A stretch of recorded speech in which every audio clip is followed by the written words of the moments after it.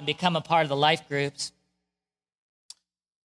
I just felt, felt as I was going through the week that there were so many decisions that I could make and I could make them in the flesh. I knew I could conquer them, I knew I could do them. I felt the tug of the Lord's heart on my heart saying, Bill, if you'll just, if you'll just let me speak, if you'll just let me guide you, you'll find that I'll give you provision even in the midst of the things that seem like they're closed doors. When decisions need to be made and we're not able to look past the doors that are closed, when decisions need to be made that are even life and death, God is there for us. God is able to take care of you in those moments and give you wisdom that is beyond yourself.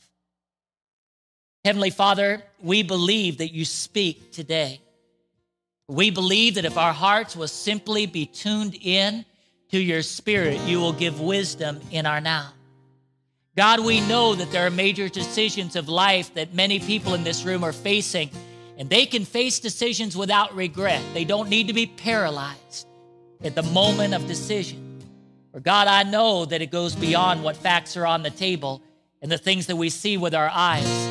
It goes to a point where we can have perfect peace, knowing, God, that you are there and you will take care of us.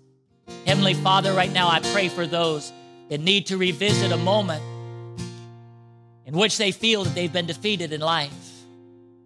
If you can look back to a moment and you say, That was a defeat for me, I've never gotten over it, I've never been able to completely get past it, will you put your hand on your heart right now? I want to pray for you.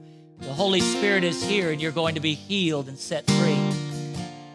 Heavenly Father, I pray for those that have their hands upon their hearts right now. I pray in the name of Jesus that you will give victory now as they revisit this moment and say, I choose to revisit now, not with all the facts that I know and all of the knowledge that I have and all the strength I can muster up. But God, I come now completely relying upon you. And I pray in the name of Jesus that you will heal the hurts of the past and break the bondages of the past. And God, in the name of Jesus, right now, I declare victory over this situation that I look back at. I will not be held to it, it will not identify me anymore. I declare I have the victory and can move on in the name of Jesus. Heavenly Father, I pray for those that are looking at their lives right now and they see stones, they see flakes where they've been praying for loaves of bread. Your provision to be awesome and mighty and large.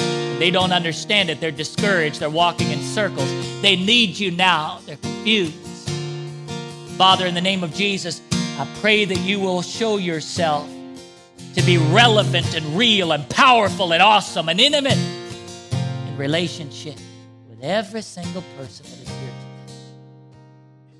Father, we thank you for your provision. We know that we, we stand upon the word that says, I've never seen the righteous forsaken or their seed begging for bread. Father, you always give bread. You always give bread.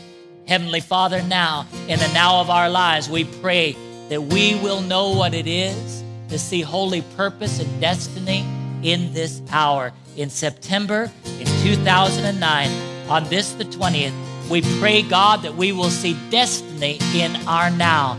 We pray with the friends that we have around us, with the associations that we have in the now of our lives, where we work, the ones that we get together with and off hours, Father, that are our friends. We pray that we will see the holy destiny that is here now with an invitation to jump into life groups so we can become involved in the church in, in ways in which we can become involved to have better relationships, in ways in which we can put across what you're doing through the local church in the DC metro area.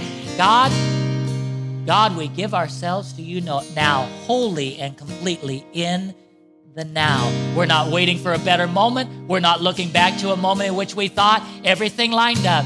We believe in you in the